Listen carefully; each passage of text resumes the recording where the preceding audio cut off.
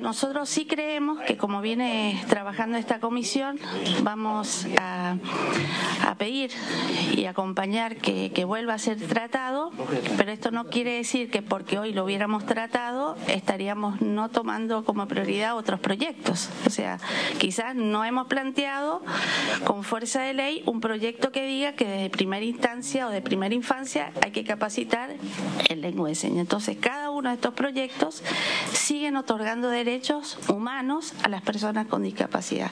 Esto es una gran oportunidad para que mostremos este, que no sabemos todo y que tenemos que formarnos, aprender y ponernos este, en el lugar de las personas que viven con una discapacidad y que seguramente sabemos que se hace muy difícil. Tenemos que ser nosotros quienes ayudemos y pongamos toda nuestra voluntad para que realmente esto, de la inclusión este, de la que hablamos tanto sea una realidad.